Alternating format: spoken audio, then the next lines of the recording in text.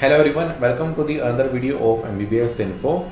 In this video, we are going to discuss about the entrance exam of Sechenov. The full name of Sechenov is I.M. First Moscow State Medical University. We have already made a video about the entrance exam of this Shetty last year, but there are some changes this year, so we are going to discuss about them. First of all, let us start with the pattern of the exam. So the exam is conducted online on the online portal of the university and you can give the entrance exam from your home using your laptop or computer. There are total two exams. The first one is chemistry and the second one is Russian language.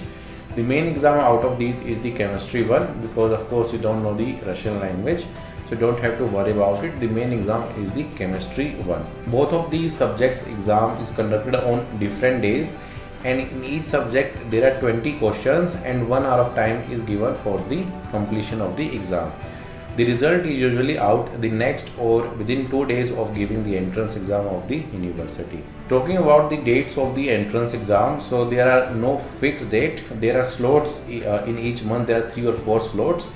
So when you apply for the university, you will get the next slot available and you can give the entrance exam on that day. Previous slot was of 12th and 16th August so next slot will be in the August end. So if you apply now, you will get to know about the entrance exam dates of the university. Now like I told you that chemistry is the main exam that you want to focus on. So in chemistry exam last year the exam was pretty easy and most of the questions were like uh, quite direct. So uh, if I give an example, they would just ask you that uh, which one of the following is an alkene and they will give you some options. So you have to just select the option or they may ask uh, to balance the reaction and uh, things like that. So they will ask you questions like that. If i give an uh, another example so like uh, they may ask they will give you a compound and they may ask you whether it is a salt oxide base or acid. So they will ask this type of questions. Uh, but this year the exam was quite difficult. Uh, if i tell you so most of the questions they were from physical and inorganic chemistry and most of them like almost 80 to 90 percent of them were numerical questions. So you have to uh, solve the answer and you have to mark the correct option. And some of the questions were like uh, last previous year also. Like they will ask, give you a compound and they may ask you like uh, classification whether they are acid base or salt. So two or three questions you will get it in that format. And uh, two or three questions you can uh, they will ask you to balance the equation so this is the type of questions you will get in this year's entrance exam. And the other questions uh, like uh, 80 to 90 percent of the questions they will be like uh, they will ask you uh, they will give you a reaction and they uh, they will provide the mass of both the compounds and they will ask that uh, what is the mass of the final compound formed.